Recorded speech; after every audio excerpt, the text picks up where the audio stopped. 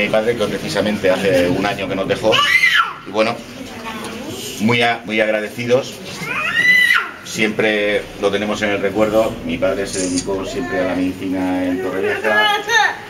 Creo, aparte de su labor como médico, fue un personaje implicado, muy, muy, muy metido en la sociedad torrevejense y muy preocupado por todos sus problemas. Él, yo creo que más que pacientes, tenía amigos y eso es lo que intentaba hacer. Muchas gracias a todos.